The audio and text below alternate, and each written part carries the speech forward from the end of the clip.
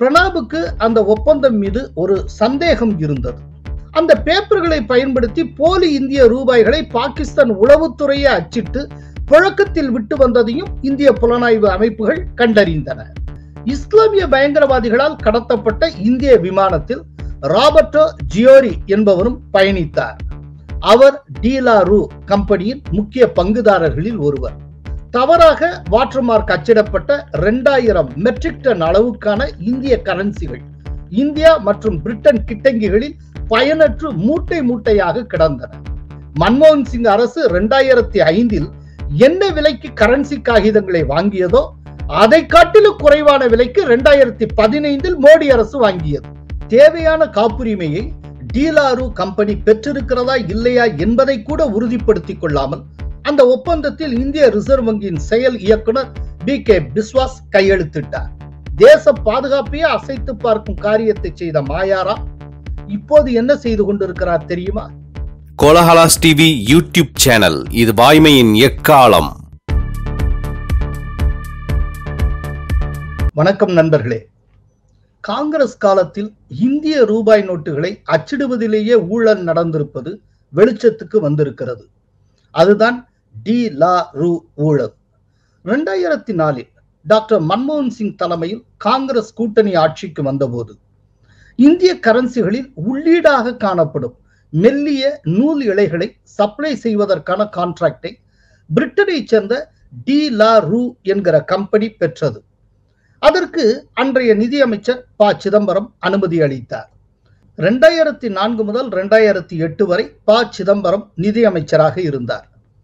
ரெண்டாயிரத்தி எட்டு முதல் இரண்டாயிரத்தி ஒன்பது வரை பிரதமர் மன்மோகன் சிங்கே நிதித்துறையை பார்த்து கொண்டார். ரெண்டாயிரத்தி ஒன்பது முதல் இரண்டாயிரத்தி பன்னிரெண்டு ஜூன் மாதம் வரை பிரணாப் முகர்ஜி நிதியமைச்சராக இருந்தார். பிரணாபுக்கு அந்த ஒப்பந்தம் மீது ஒரு சந்தேகம் இருந்தது. ரெண்டாயிரத்தி பத்தாம் ஆண்டு நமது புலனாய்வு அமைப்புகள் அதிர்ச்சிகரமான சில ரகசியங்களை கண்டறிந்தன. நமக்கு சப்ளை செய்யும் அதே டீலாரு கம்பெனி தான் பாகிஸ்தான் கரன்சிகளுக்கான காகிதங்களையும் சப்ளை செய்து வருகின்றது என்கின்ற ரகசியத்தை கண்டறிந்தன.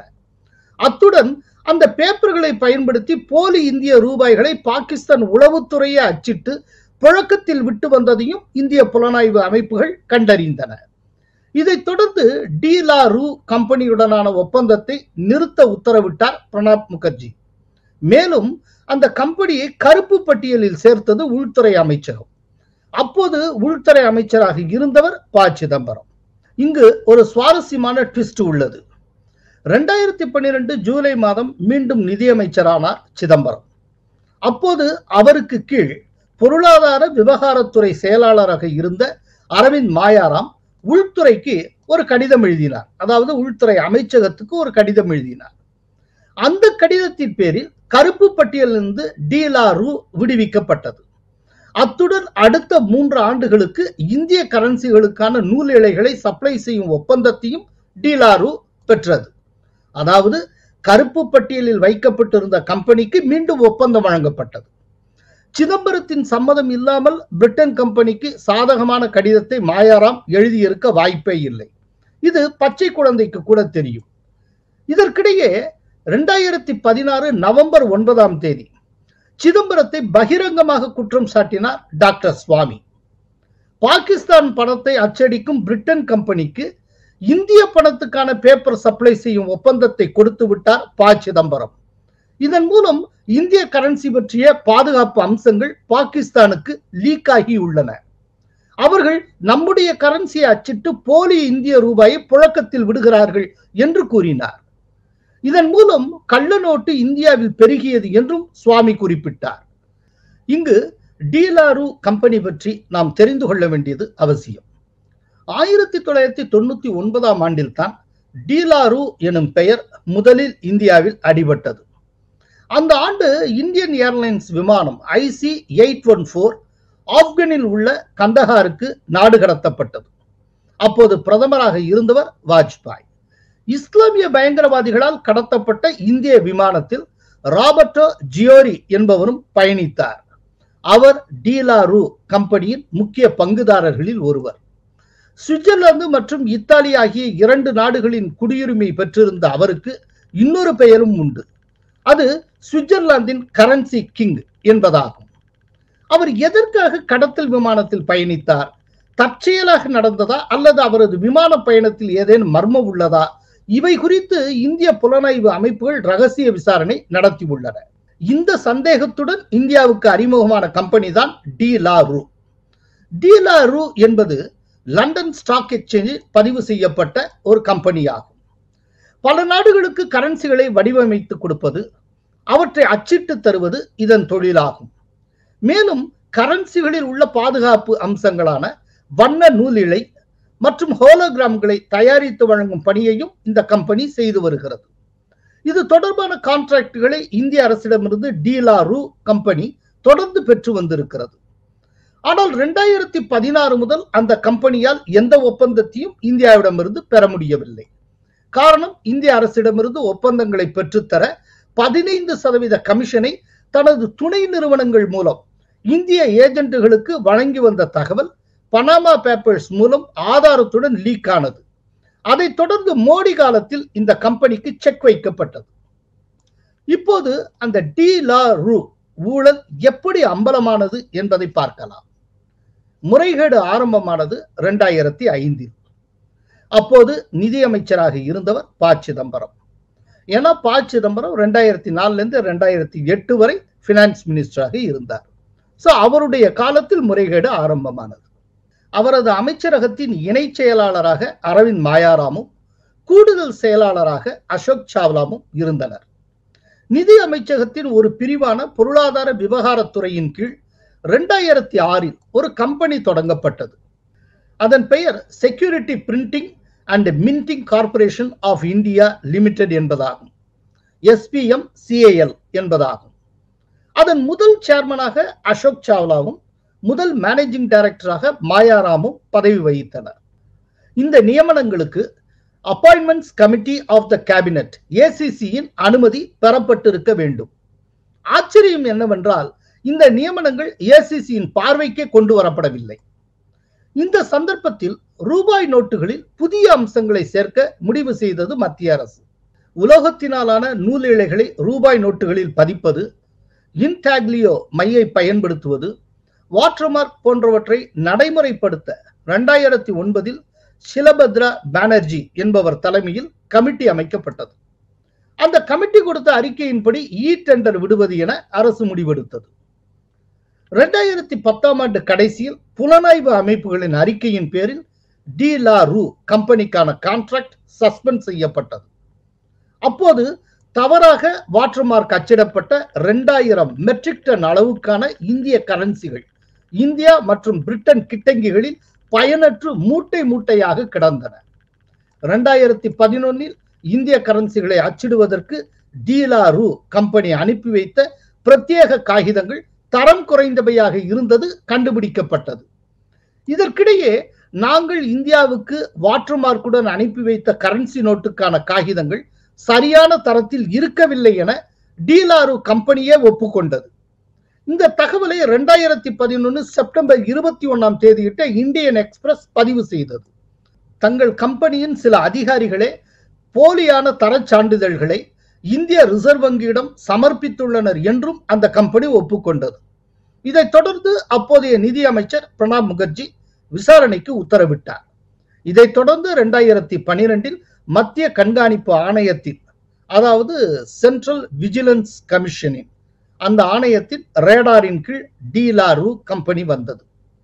இந்நிலையில் தான் ரெண்டாயிரத்தி பனிரெண்டு ஜூலை மாதம் மீண்டும் நிதியமைச்சரானார் ப சிதம்பரம். அதே ஆண்டு ஆகஸ்ட் ஒன்னாம் தேதி நிதி அமைச்சகத்தின் கீழ் உள்ள பொருளாதார விவகார துறைக்கான செயலாளராக அரவிந்த் மாயாராம் பொறுப்பேற்றார். வந்ததும் வராததுமாக மாயாராம் செய்த முதல் காரியம் கருப்பு பட்டியலில் வைக்கப்பட்டிருந்த டீலாரு கம்பெனியை விடுவிக்க கோரி உள்துறை அமைச்சகத்துக்கு கடிதம் எழுதியதுதான்.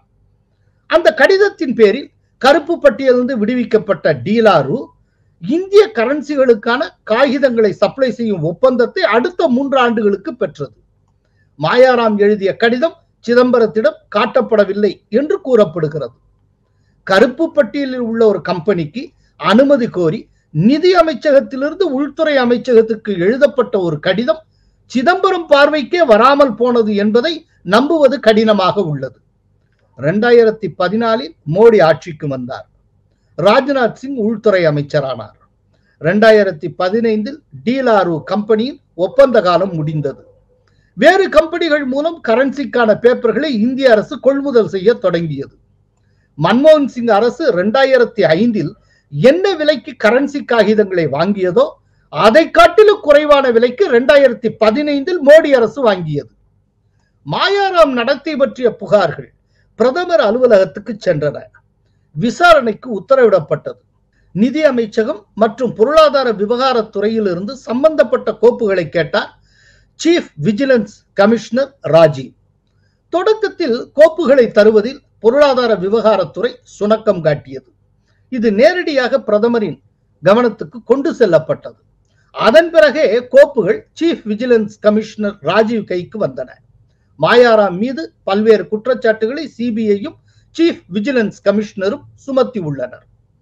மத்திய நிதி அமைச்சகத்தில் உள்ள பொருளாதார விவகாரங்கள் துறையின் தலைமை கண்காணிப்பு அதிகாரி கொடுத்த புகாரின் பேரில் இரண்டாயிரத்தி பதினெட்டில் பூர்வாங்க விசாரணை தொடங்கியது.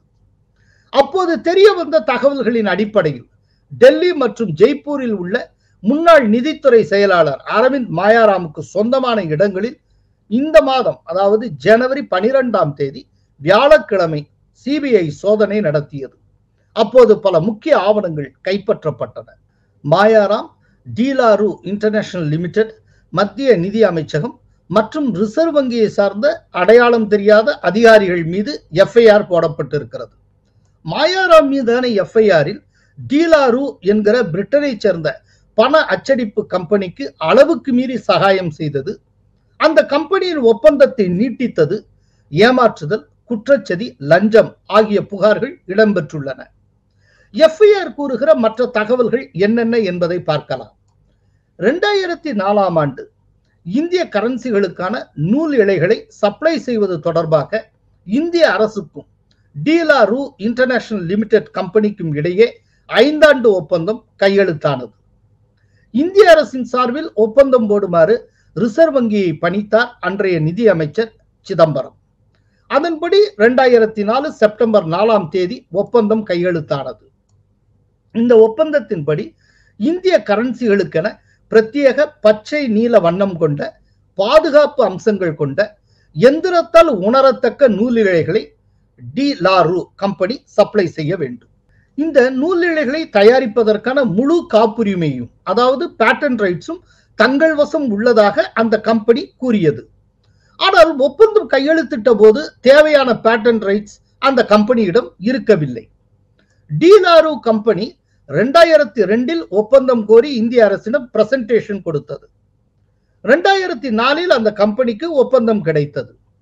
ஒப்பந்தம் கிடைத்த பிறகுதான் சாவகாசமாக ரெண்டாயிரத்தி நாலு ஜூன் இருபத்தி எட்டாம் தேதி காப்புரிமை கோரி இந்தியாவில் விண்ணப்பித்தது. ரெண்டாயிரத்தி பதினொன்னு ஜூன் பதினேழாம் தேதி டீலாரு கம்பெனிக்கு காப்புரிமை கிடைத்தது. ரெண்டாயிரத்தி பதினொன்னில் காப்புரிமை பெற்ற கம்பெனிக்கு அதற்கு ஏழு ஆண்டுகளுக்கு முன்பாக அதாவது ரெண்டாயிரத்தி நாலிலேயே கான்ட்ராக்ட் கொடுக்கப்பட்டு விட்டது. தேவையான காப்புரிமையை டீலாரு கம்பெனி பெற்றிருக்கிறதா இல்லையா என்பதை கூட உறுதிப்படுத்திக் கொள்ளாமல் அந்த ஒப்பந்தத்தில் இந்திய ரிசர்வ் வங்கியின் செயல் இயக்குனர் பி கே பிஸ்வாஸ் கையெழுத்திட்டார்.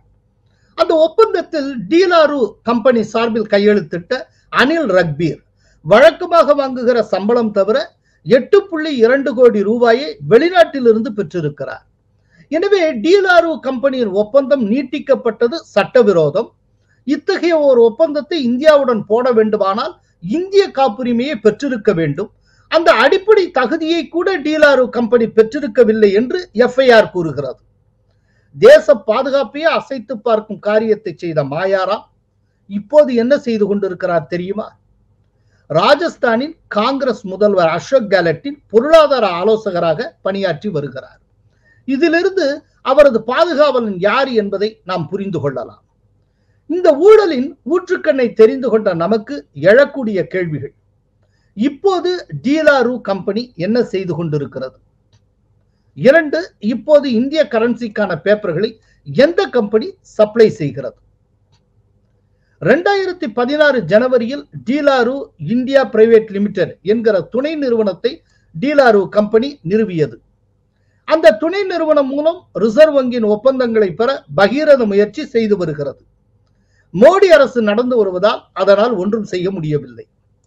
தற்போது மோடியின் ஆத்ம நிர்பர் பாரத் திட்டத்தின் கீழ் கரன்சி அச்சடிப்பிலும் தற்சார்பை அடைய இந்தியா முயற்சி செய்து வருகிறது. எனவே ரிசர்வ் வங்கியின் துணை நிறுவனமான Bharatiya reserve bank note Mudran limited இந்திய ரூபாய் நோட்டுகளை அச்சிட்டு வருகிறது. எட்டு நாடுகளைச் சேர்ந்த நிறுவனங்கள் இந்திய கரன்சிக்கான காகிதங்களை சப்ளை செய்கின்றன. அந்த கம்பெனிகள் எவை என்பதை பார்க்கலாம்.